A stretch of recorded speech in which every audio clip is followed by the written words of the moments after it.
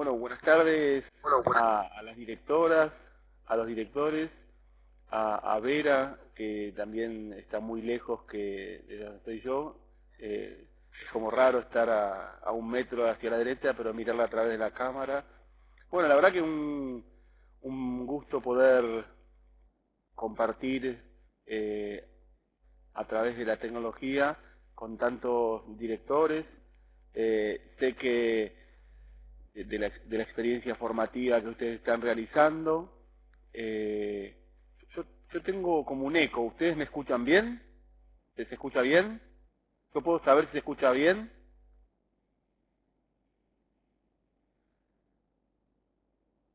Hay eco, me dice Marita Esteve.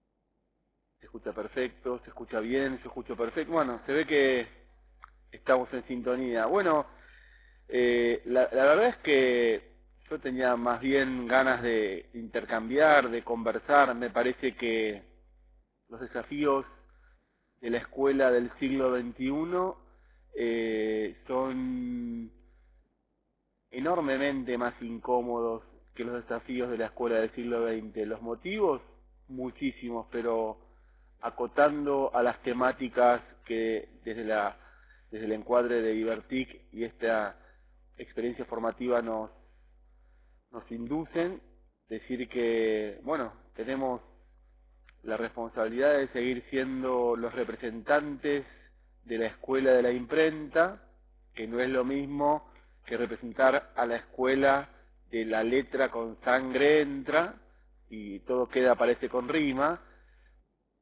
pero que sí tiene que convivir con la escuela cibertecnológica de lo que estamos haciendo en este momento ustedes y yo. Por lo tanto, esa doble condición, que también es una doble exigencia en términos de alfabetización de nuestros alumnos de estas horas, ya de por sí nos trae algunos problemas. Así que quizás una buena excusa es hoy un rato acerca de estos problemas que tenemos en común. Eh... Bueno, eh, quiero agregar, Gaby, que no sé si ves ahí en la lista de asistentes, hay, una, hay unos invitados que se llaman Liceo 2, Carmelo, son directores eh, y, y, colegas de la escuela del liceo número 2 de Carmelo, Uruguay. Así que le damos la bienvenida también a, a, este espacio donde estamos algunos directores de Mendoza, de Misiones, de Buenos Aires, y que sean bienvenidos también los, los compañeros de Uruguay a participar de, este diálogo, donde quizás tengan alguna, algunos comentarios que hacernos desde su experiencia en Ceibal también de lo que les pasa a los directores con estas cuestiones que mencionaba Gabriel, que bueno, son las que nos convocaron al curso, ¿no? los emergentes y lo que va pasando con estos nuevos entornos tecnológicos.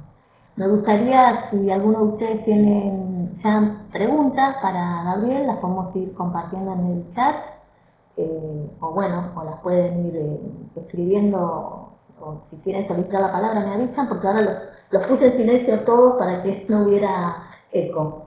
Así que para que no, no reciban con eco. Si tenemos preguntas, es un buen momento para, para empezar. Estamos dando toda la bienvenida a, a los uruguayos, a los compañeros de, de Carmelo. Que nos queremos ir a, a pasear ahí si quieren, si nos quieren invitar, no hay problema. Bueno, escuchamos o leemos preguntas. Si tienen preguntas, eh, serán bienvenidas, las escribanlas en el, en el chat. Varios asistentes están escribiendo, uy, en el momento que me dan miedo.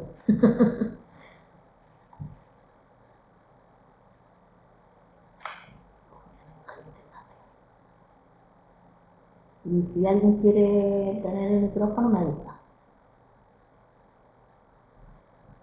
Bueno, le voy a dar un ratito no hay problema. Bueno, eh, escuchamos preguntas o comentarios para poder empezar el diálogo, si les parece bien. Y les digo a los compañeros del Liceo 2 que si quieren ahí pueden usar el micrófono para preguntar. tienen que.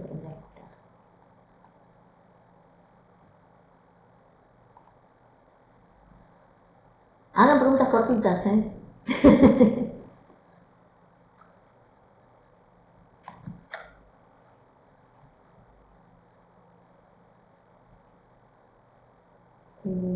¿Alguno que mente? Ok, bueno.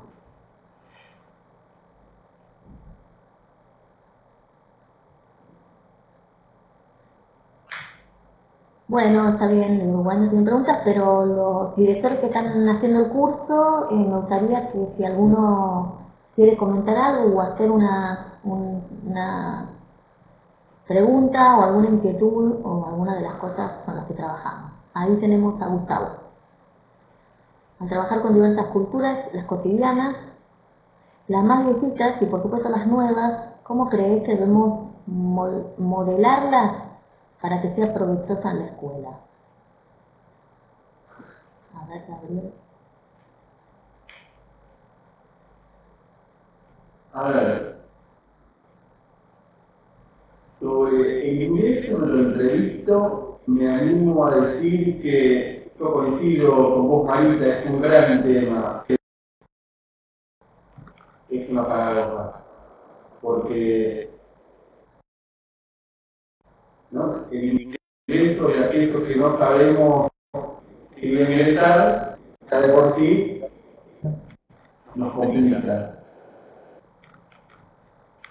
Y la verdad es que es difícil, sin duda, en una escuela que tuvo más que ver con lo previsible, con lo fijo, con lo previamente ordenado, con, por lo tanto, con relaciones supuestamente más previsibles.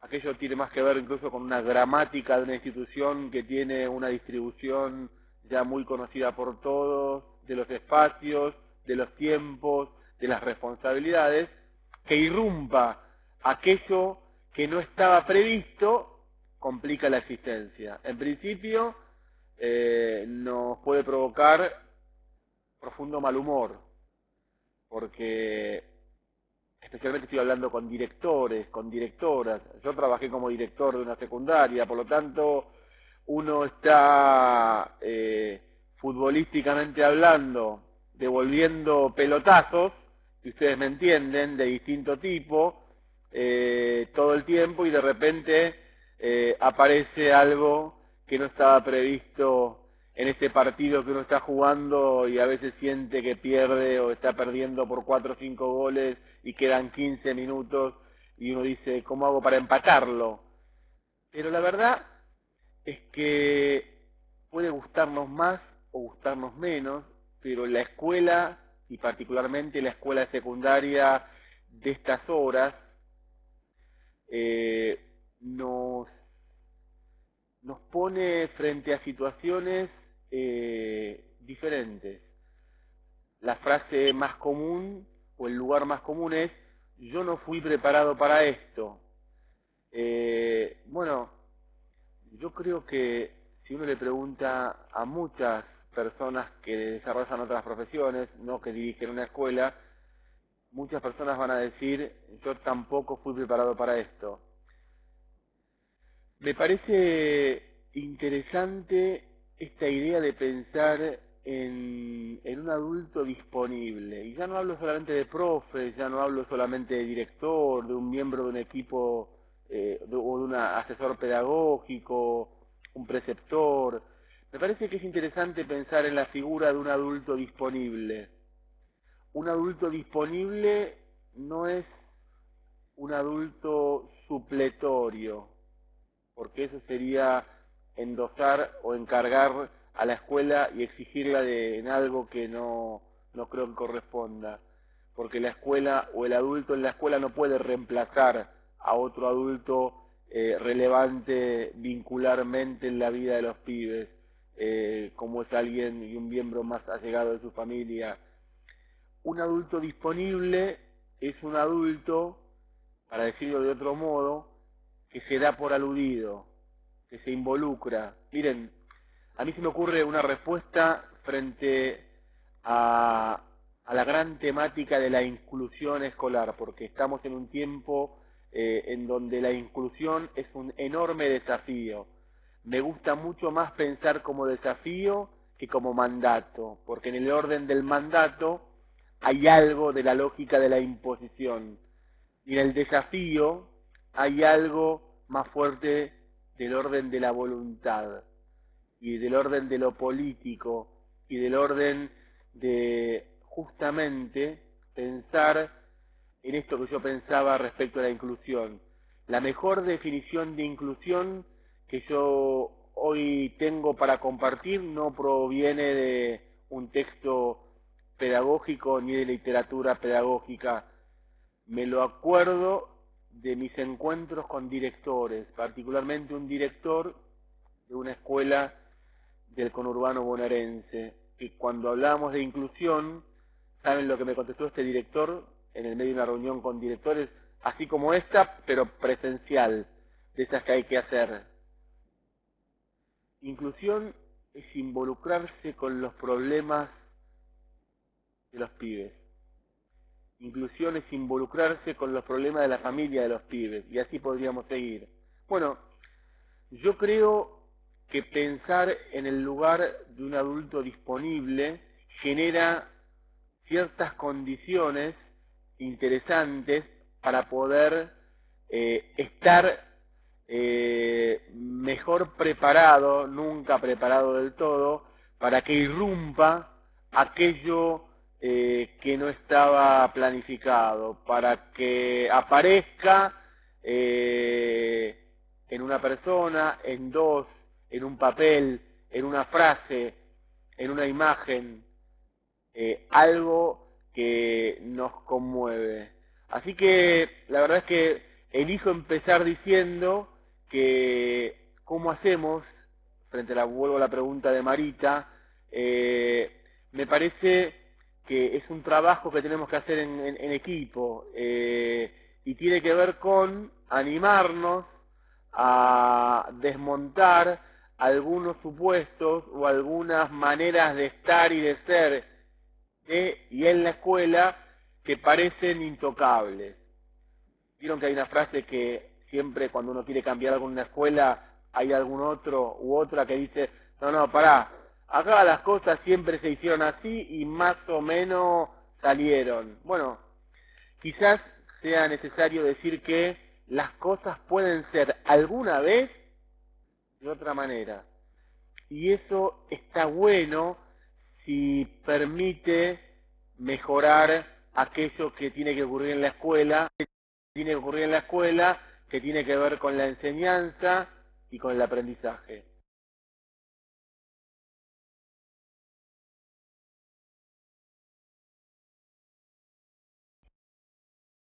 Eh, más o menos iba retomando, fui poniendo algunas imágenes ahí. Eh, pasaban cosas. Sí. pasó el Beastie Boy en algún momento y eso me generó una distracción. mayor disponibilidad. Ah, perfecto. disponible. Perfecto, un adulto disponible, no, porque justo hablaste del fútbol y entonces puse eso. Teníamos ahí un poco pendiente, las voy a unir, la pregunta tanto de Silvia como la de Gustavo en Mendoza. Gustavo hablaba de, de mm, trabajar con diversas culturas, nuevas, viejas, anti, anti, anteriores, eh, ¿Cómo crees que debemos modelarlas a estas culturas en la escuela? Y Silvia, que, pregunta sobre la presentación de escuelas en movimiento y si compartirías tu impresión sobre lo que se puso, sobre lo que se puso ahí que representaba mucho camino recorrido, eh, con la intención de interpelar y modelar lo móvil. Así que bueno, tomando un poco de cada uno, cómo se integran las culturas, cómo debemos modelarlas, y la pregunta de Silvia acerca de eh, cómo las escuelas interpelan y modelan lo móvil, y si nos compartís algo de tu presentación de escuelas en movimiento. Eh, miren, yo creo que la verdad es que muchas veces hay una hay poca sintonía entre lo que es la cultura de la escuela y aquello que sucede eh, extramuros. Eh, ¿Qué quiero decir? que muchas veces la escuela, por propia decisión o por omisión, eh, considera que hay un montón de cosas que no son para la escuela. Y la verdad es que en ese sentido la escuela muchas veces, o mejor dicho, yo creo que durante el siglo XX fue profundamente impermeable. De hecho, no quiero extenderme, pero la escuela y la escuela secundaria tienen diseño histórico profundamente selectivo, excluyente. En esa operación de excluir, eh, buena parte de lo que queda por fuera es aquello que se considera fuera del molde. Entonces, eh, aquello que no huela a la cultura escolar tiene que quedar por fuera. Y en esa manera de establecer eh, el orden de admisión, entonces eh, hay no solamente alguien que queda afuera, sino que queda afuera cultura. Entonces, miren qué curioso, los pibes entran a la escuela, o entraron a la escuela una parte de los pibes durante el siglo XX, pero tenían que dejar en la puerta eh, los ropajes vinculados a sus identidades como jóvenes, a sus identidades juveniles, las propias culturas juveniles, eh, sus maneras de, percibir, de vivir eh, el arte, su manera de vincularse entre sí, más auténtica, lo mismo con las culturas mediáticas, ni hablar las culturas populares. Justamente la escuela secundaria que ha sido selectiva eh, le ha adjudicado un lugar de profunda subalternidad, eh, de segunda categoría a ciertas producciones culturales de orden popular, que no se podían conjugar con la jerarquía de la cultura escolar. Y allí hay cosas para preguntarnos. Por lo tanto, más que modelar aquello que ingresa siendo de otras culturas, en principio se diría, abramos las puertas, escuchemos, preguntemos. A veces la pregunta es la herramienta más importante en una institución que en general eh, estuvo acostumbrada solo a tener respuestas, porque se le piden respuestas, pero la escuela ha sido una producción de respuestas, y a veces si la escuela tiene como objetivo la enseñanza y el aprendizaje, a veces mejor que nada es formular una buena pregunta.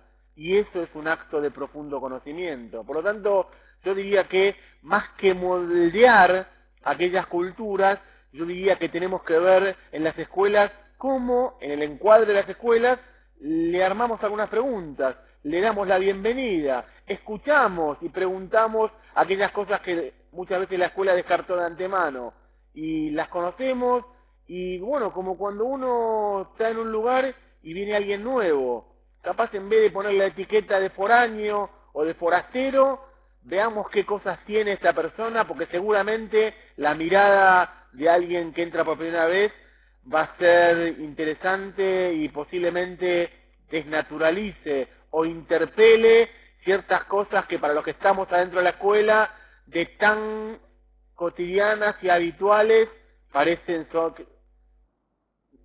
la normalidad, lo único que puede suceder.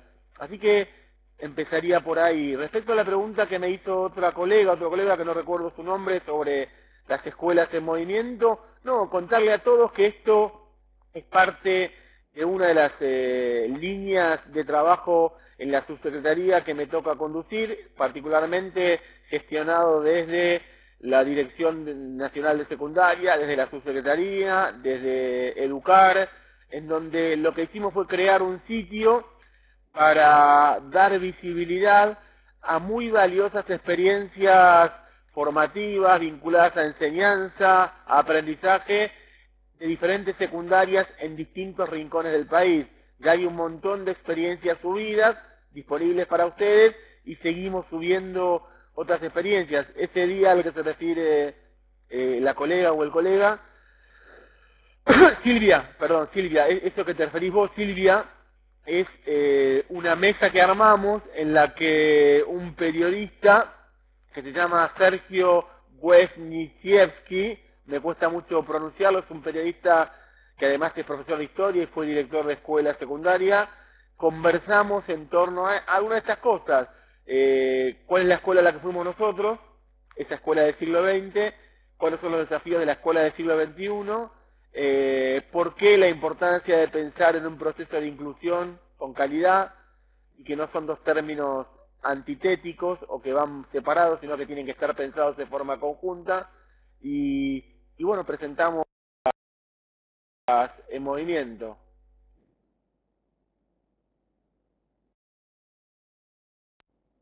No sé si quería responder eh, las preguntas que me hicieron, y los que hicieron las preguntas quieren preguntar algo o incluir un comentario eh, en función de lo que yo dije.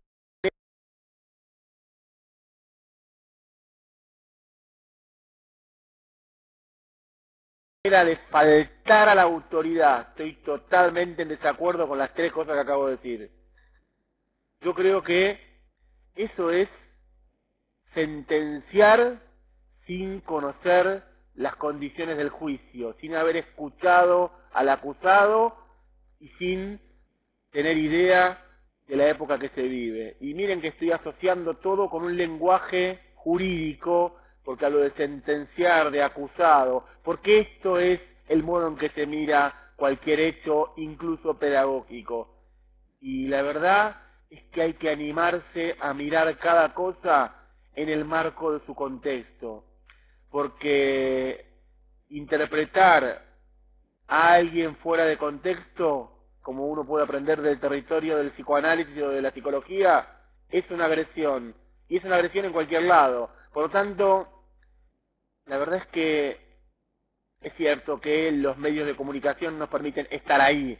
Y es como que, no es que ahí estaban solamente la vez Isabela, estaban la vez Isabeli y 750 mil millones que lo estábamos viendo eh, por HD, hasta veíamos la gota que se caía en la frente de la Bessi. Pero yo digo, antes que sentenciar eh, eh, como falta de respeto, también uno puede pensarlo en términos de otras maneras de vincularse. ¿O acaso, porque si no, la autoridad de Isabela se mide en los viejos criterios de, autoridad, incluso escolar. Y la verdad es que a veces eh, puede haber situaciones eh, que en un contexto tengan que ver con eh, el bordear eh, situaciones que tienen que ver con, con cierta suspicacia o, o de ciertos gestos o maneras de estar con los otros y no socavan o derriban la autoridad del otro. Por lo tanto, Fanny eh, querida compañera de, las, hermosas tierras del sol eh, y del vino, me parece que qué bueno que trajiste ese, ese episodio. Ahora, yo creo que justamente tenemos que intentar evitar, perdón, miren, miren el furcio, tenemos que intentar evitar las adjetivaciones que se transforman en sustantivos. Igual que la palabra escolar cuando acompaña a violencia.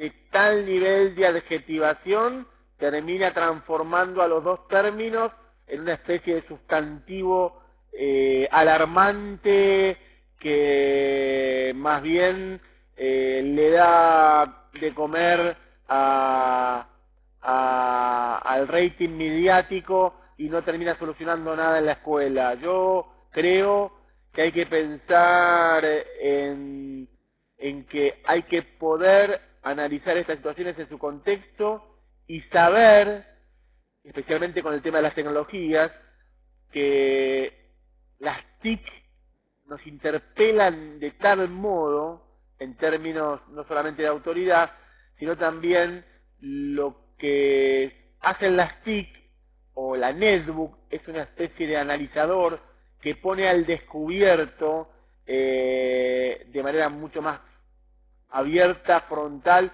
y a veces cruel eh, las contradicciones propias del vínculo intergeneracional. Eh, en todo caso, lo que pone en cuestión es esta siguiente pregunta. ¿En qué se autoriza un docente con sus alumnos? Si no es el depositario absoluto del saber para volcar eh, y que los otros, cual recipiente, incorporen o llenen. Son otras las lógicas. Yo escuchaba al querido Estanislao Antelo, que es un pedagogo que investiga mucho el tema de la autoridad, que él planteaba justamente recuperando interesantes aportes, que la autoridad no se puede perder, porque la autoridad no es algo que se pueda tener, no se guarda, no se junta, porque esa concepción de autoridad la cosifica, hace que la autoridad sea una cosa, que finalmente entonces es, es algo que se puede tener. Y la verdad es que la autoridad no es eso. La autoridad eh, se va haciendo en el vínculo con el otro. No hay autoridad si uno no empieza a caminar con el otro con quien tiene algo en común, que por ejemplo es enseñarle algo. Eh, por lo tanto, la autoridad se hace camino al andar y no es otra cosa que algo que se define en relación con. Por lo tanto, no se pierde porque no se tiene, sino que se va haciendo y se va fortaleciendo o debilitando en relación. En ese sentido también pienso que las TIC interpelan la autoridad escolar, porque un pibe puede saber mucho más que yo en términos de ciertos dispositivos tecnológicos y cierto acceso a la tecnología. El tema es qué puedo yo como docente generar en términos de condiciones para que el otro pueda aprender que a un estudiante que sabe más que yo de ciertas cuestiones vinculadas a informática o a tecnología. Eso hace que revisemos eh, y trabajemos sobre aquello de lo que está hecha la autoridad de un adulto hoy en la escuela. Gabriel, eh, me permito tomar las palabras también de Gustavo que dice que también la condición puede ir desde destacar lo que realmente hay que valorizar, hasta aquello que promueve solo lo vagamente irrelevante del momento. Pero me queda como una duda, no entiendo bien lo que quiere decir Gustavo con este comentario. Así que me gustaría, si Gustavo, si tenés ganas, eh, te doy el micrófono, si nos querés aclarar que es un poquito más rápido con el micrófono. O sea, encender tu micrófono que lo tenés así porque no estoy entendiendo bien entre desde destacar lo que realmente hay que valorizar hasta aquello que promueve solo lo vagamente irrelevante del momento. No, entendí. Mi pregunta que quedó ahí perdida en el chat era si a ustedes, a los líderes de escuelas secundarias, les parece que la inclusión de las TIC en algún momento hacen este, este juego de, bueno, ponernos un poco en jaque, poner un poco en jaque la autoridad. Pero a ver, eh, Gustavo, si pudieras este, poner tu micrófono, te entendemos. Acá ¿no? Eh, no, Alejandra. Eh, por volver las culturas, a lo mejor también tenemos que pensar que vivimos en una época en que los imaginarios acerca de la relación escuela-TIC se está construyendo. A lo mejor la mirada de toda la sociedad no puede pensar con gran desacuerdo. Pienso en qué imaginan padres y qué esperan los chicos como usos cercanos de TIC. Sí, son como culturas que, mm, que sufren no encuentros, sino encontrones, ¿no? Eh, me acuerdo de, esa diferenciación, una cosa es un encuentro y otra es un encontrón. Y a veces las culturas en las que vivimos y nos formamos los que hoy somos adultos, docentes, gestores, etc., eh, sufren un encontrón con las culturas en las que se crían nuestras eh, pequeñas, preciosas y sudorosas criaturas. Y también se puede. Yo creo que, ahí a mí me gusta también considerar siempre algunos aportes de Philippe Merier, que es un pedagogo que ustedes y yo conocemos, y me parece que hay algo que Merier plantea que está vinculándose con esto que recién comentábamos, esto que recién eh, decía Vera, esto que, que, dice Alejandro, ¿es? No, eh, Alejandra, eh, lo que también dice Gustavo. Porque creo que justamente lo plantea Merier y es, yo creo que es la, paradoja de Frankenstein educador, la, la, propia, a mi modo de ver, ¿eh? la propia síntesis que en todo caso puede invitar a leer Frankenstein educador. Selim Merier, cuando escribe Frankenstein educador, no se refiere al monstruo, sino a su creador. Y de ese modo parodia e interpela y critica a la pedagogía moderna, o sea, a todos nosotros, a los adultos que nos formamos en la escuela del siglo XXI y que estamos intentando formar eh, y encaminar a los niños, niñas, adolescentes y jóvenes del siglo XXI. Y decía Merier justamente que eh, muchas veces el adulto, sintéticamente, por decirlo de algún modo, eh, cuando piensa en el otro, que es su alumno, su alumna, piensa a veces no en un igual, sino que piensa en el otro como una proyección en miniatura de sí mismo.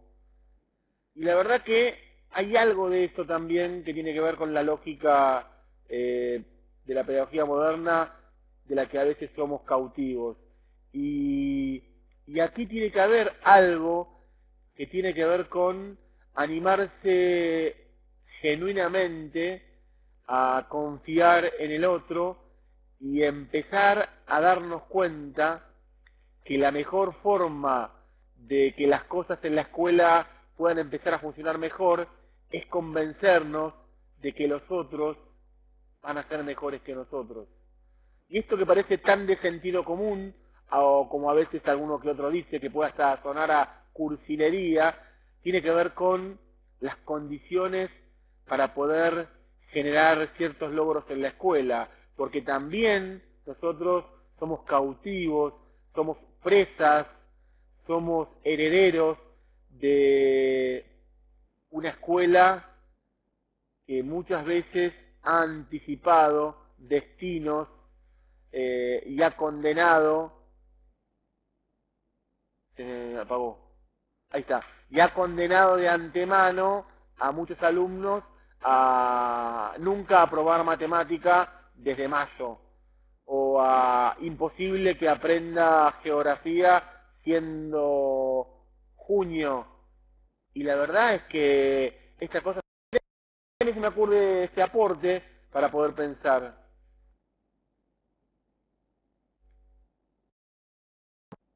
Bueno, bienvenida a los que van llegando, que estén un ratito, que se pueden conectar las unidas y creo que eh, está bueno ir pensando y al, mismo tiempo yo les voy poniendo ahí en el chat eh, lo que va diciendo Gabriel, que va un poco rápido, pero les voy poniendo algunos enlaces que después los pueden tomar y después se los podemos replicar en el aula virtual, pero eh, ¿qué es eso? Lindas sugerencias. Hay una conferencia de Philippe Merier, también les puse el texto sobre autoridad de Stanislao, de Stanislao Antelo, que lo pueden descargar. Me quedé pensando si Gustavo de Mendoza quería quería utilizar el micrófono para, terminar con ah, su pregunta. Justo el momento que le di el micrófono se desconectó y ahora se, lo veo que se conectó de vuelta, así que Gustavo, eh, si querés, tenés ganas, podría ser.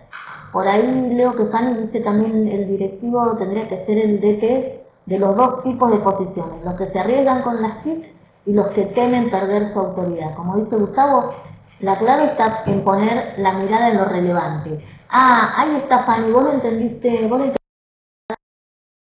en lo relevante, o sea, y, poner la mirada también en todo el terreno, ¿no? Porque si nos falta un jugador, ¿qué es eso? Si nos echan a dos, tenemos que jugar con dos líneas de cuatro, jugamos con dos líneas de cuatro.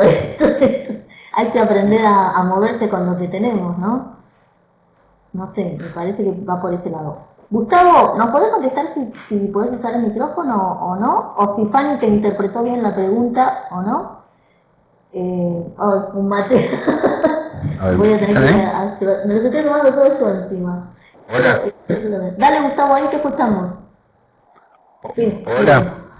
Voy a, voy a hacer entrega del mate. Mucho gusto. Adelante, Gustavo, dale. De paso, tomar unos mates.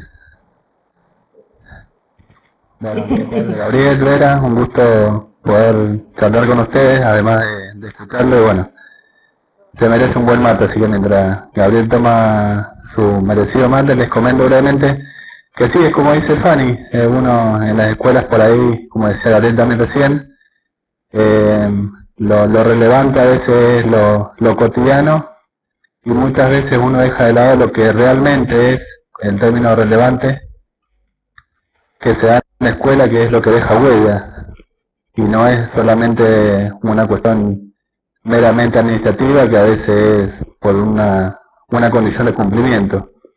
Entonces, eh, destaco eso de lo, de lo relevante como una situación de destacar lo que realmente hay que destacar, que es eh, desde lo humano, desde las relaciones de las personas, incluyendo a docentes, alumnos, padres eh, y todos los integrantes de la escuela.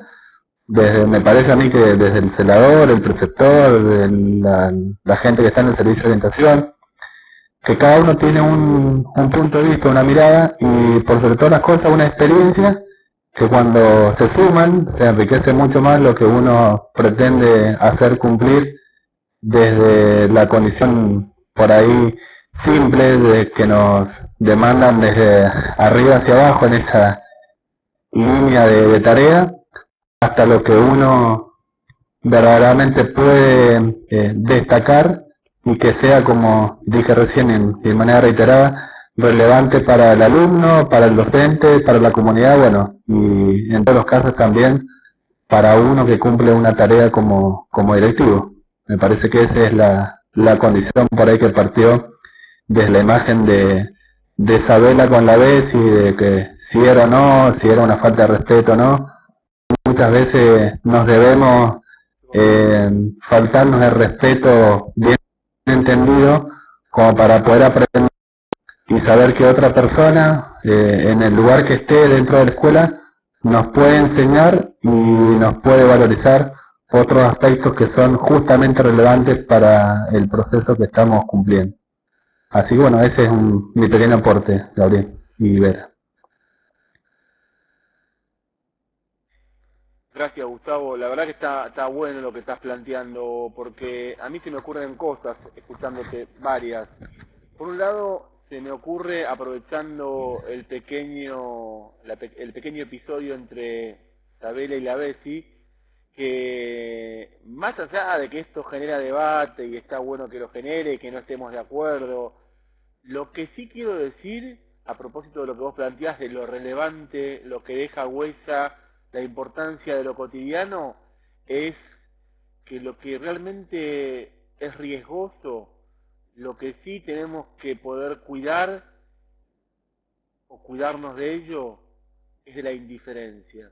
Y yo en ese sentido agrego algo, como antes hablé del adulto disponible, quiero agregar aquello que tiene que ver con la presencia, porque prefiero hablar de la calidad de la presencia en vez de ser críticos de la ausencia, porque yo creo que hoy en la escuela y particularmente en la escuela secundaria hay mucha ausencia. Faltan mucho los pibes, y lo digo en términos generales, y preocupado como funcionario, y faltan mucho los docentes. Pero en vez de hablar de la ausencia, que creo que es algo en lo que tenemos que trabajar mucho más, desde los controles, pasando por otras cuestiones, prefiero tomarlo desde la perspectiva de la calidad de la presencia. Y en ese sentido, poder decir que eh, prefiero siempre la calidad de la presencia más allá de que muchas formas de estar presente no sean las que a veces los directores consideramos las más adecuadas. Pero la presencia siempre es mejor que la indiferencia, porque la indiferencia a veces es estar de cuerpo presente, pero profundamente ausente. Y entonces por eso retomo lo que decías vos de, qué es lo relevante, particularmente pensando en lo cotidiano. Y vos hablaste de la figura del preceptor, que para ustedes, para nosotros como dires, es fundamental, porque también el preceptor es una figura en la escuela secundaria, a mi modo de ver, clave, tomando en cuenta lo que plantea Gustavo, pero no podemos desconocer que somos herederos del paradigma del preceptor, o mejor dicho, del preceptor del paradigma disciplinario. El preceptor como alguien que solo es eh, una mano derecha de la gestión para manejar la disciplina. Y yo creo que hay que cambiar eso, porque el preceptor hay que pensarlo en un paradigma de orden más pedagógico e institucional.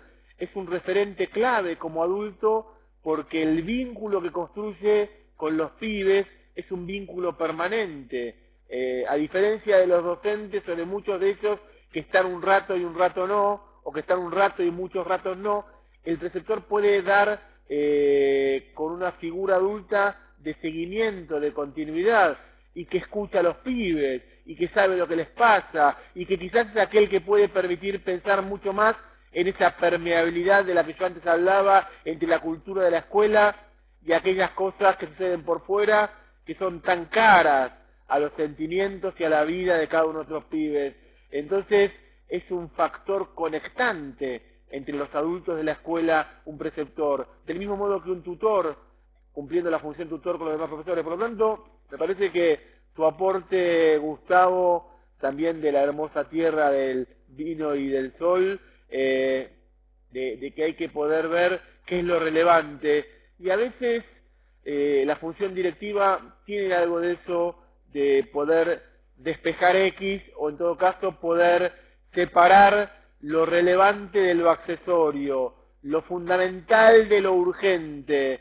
Y en esa forma de separar, eh, casi como una actividad de índole quirúrgica, uno puede estar generando otras condiciones en la escuela, porque también como se da la vida en la escuela, a veces hace que los propios directores o directoras o directivos no podamos esto, despejar las X o discernir entre aquello que de lo que podemos ocuparnos y aquello que termina invadiéndonos y nos termina ocupando todo el tiempo, nos termina ocupando el universo todo. Entonces, me parece interesante esto de pensar lo relevante eh, en lo cotidiano y lo relacioné con la función de los directivos, porque recuerdo que la consigna de Vera, cuando hice ese pequeño corto, eh, tenía que ver con pensar siempre en la tarea y de los supervisores o inspectores eh, en las escuelas.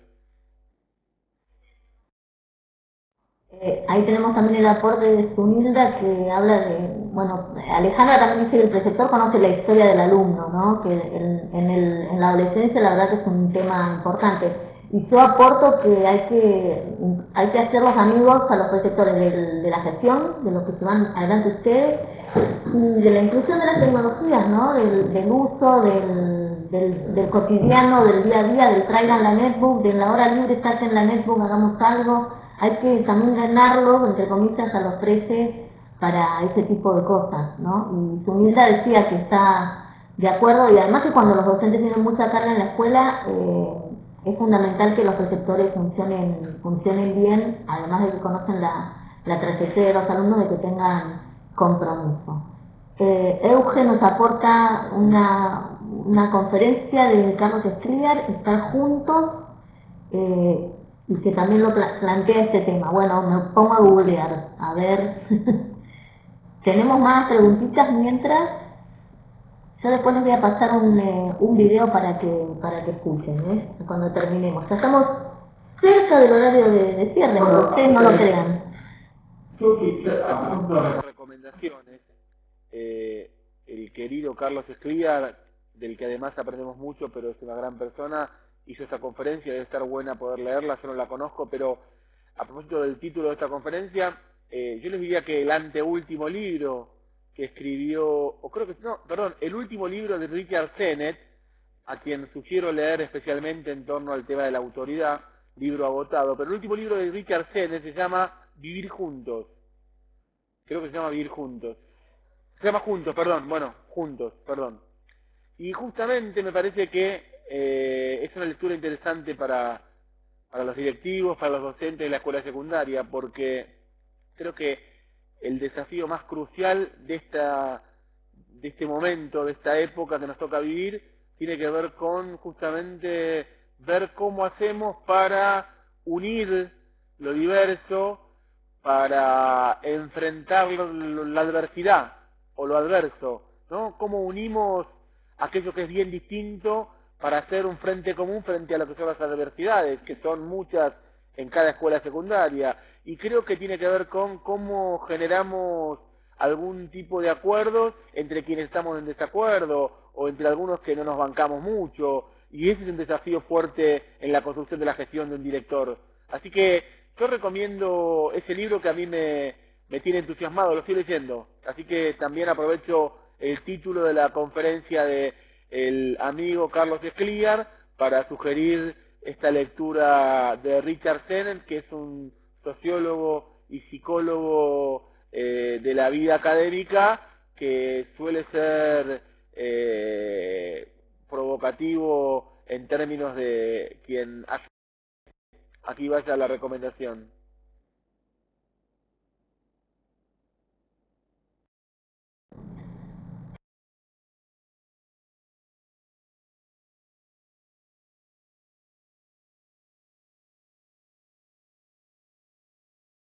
Eh, me parece que hemos entrado en la dinámica de escuchar a la gente y verle la cara, que me parece muy bueno, es algo que hicimos a lo largo del curso.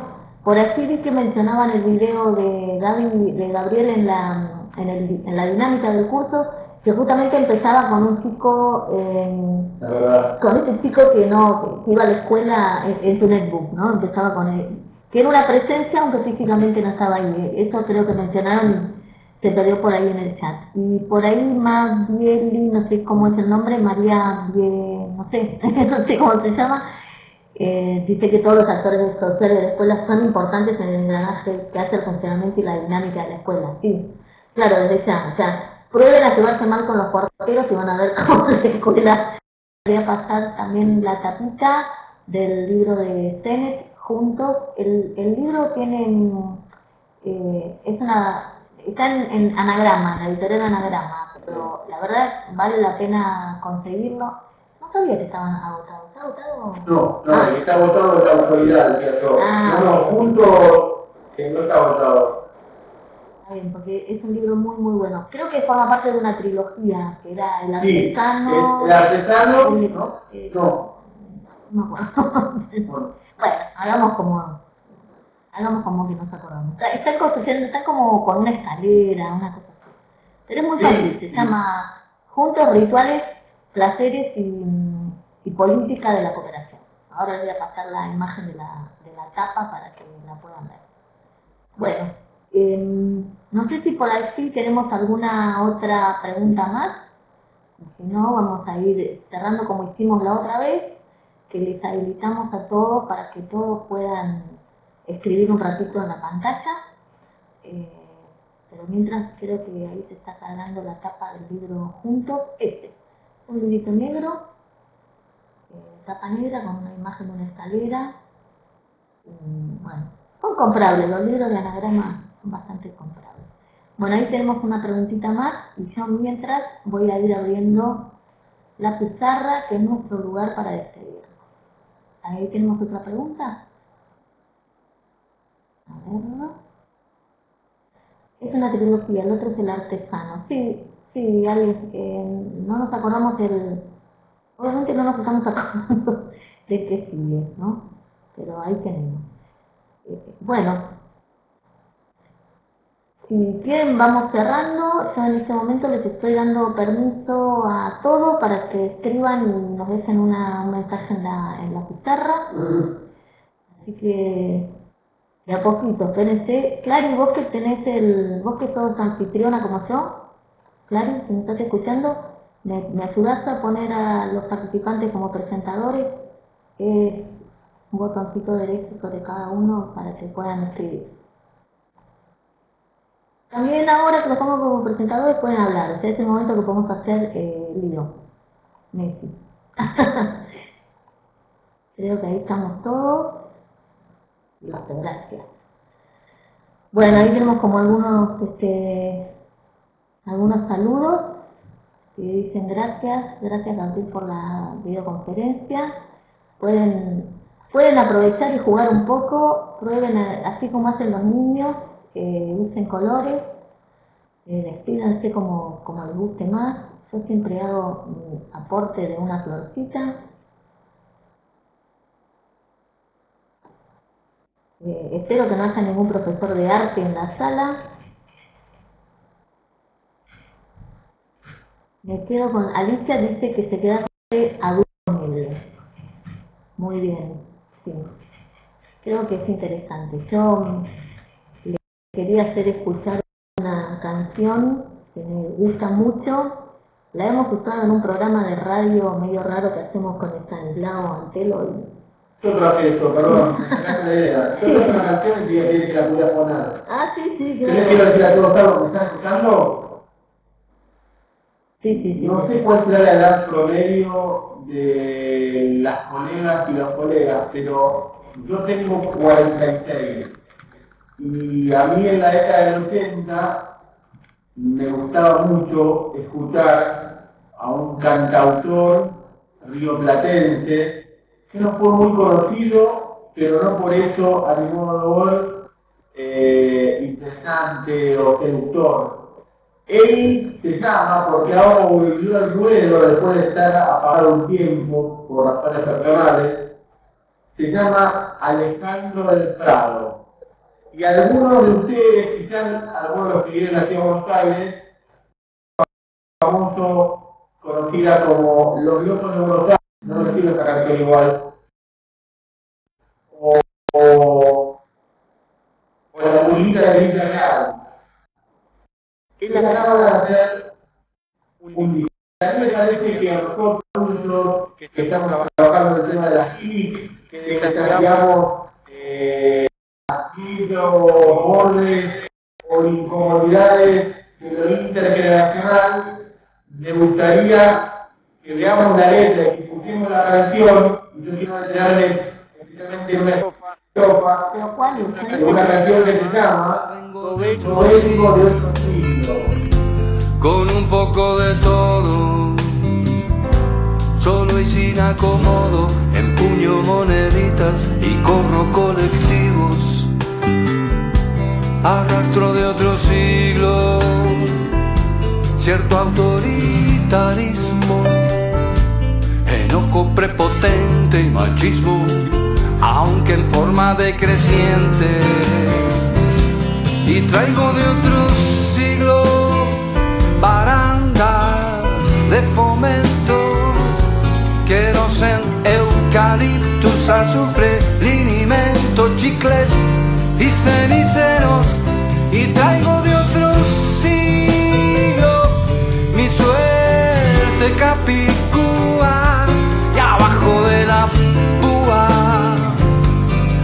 de vinilo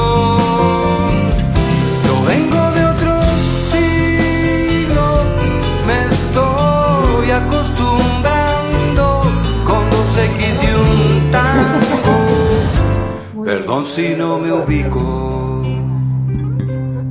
Le voy a volver a, a, decir a Gabriel una cosa que siempre le digo, así que no, no, no es una novedad.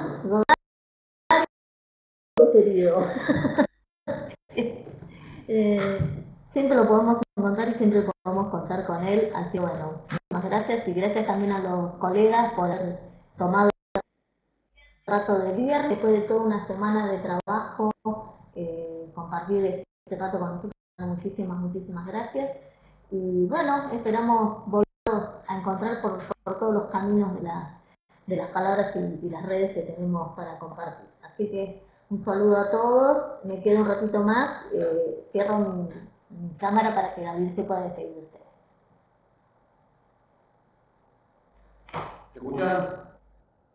Bueno, un saludo también eh, a, todos los que hoy intercambiamos, ojalá que nos podamos conocer personalmente en algún momento, pero bueno, la verdad que para mí también, como lo puse antes, a mí quizás de lo que más me gusta es poder tener espacios de, trabajo, de intercambio con los colegas, y especialmente con directivos, así que vengo de ahí, muy contento, agradezco a Vera, de verdad, Vera la invitación, a mí siempre me gusta trabajar con, con, lo que Vera y el equipo de Vera hacen desde Ibertic, desde la OEI, y bueno, a disposición de ustedes para seguir conversando, pensando juntos.